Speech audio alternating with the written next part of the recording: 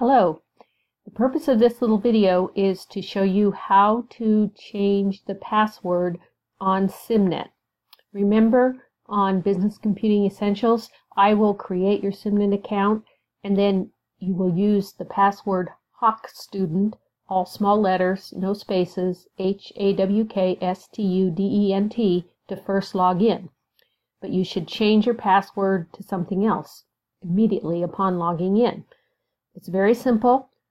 First, you have to get to the SimNet system, and you do that from Icon. This is our course. And we go ahead and open SimNet in a new tab. Always check that it says the University of Iowa here. And I've just created an account to use for demonstration purposes. And so I'm signing in. And to change the password, you'll see your name up here. You click on that to get to your account information, and then you'll change the password right here.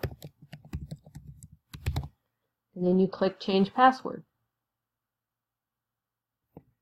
And it's that simple. You don't really get any feedback, but when you log in next time, that's the password you will use.